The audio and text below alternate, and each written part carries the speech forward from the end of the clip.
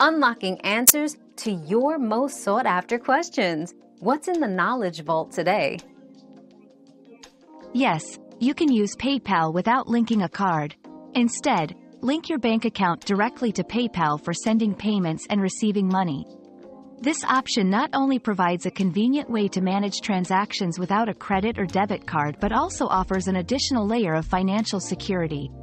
To get started, simply add your bank account details in the PayPal settings and follow the verification process to ensure a secure connection. Another mystery solved, but many more await. Keep up with our daily discoveries by subscribing and turning on notifications.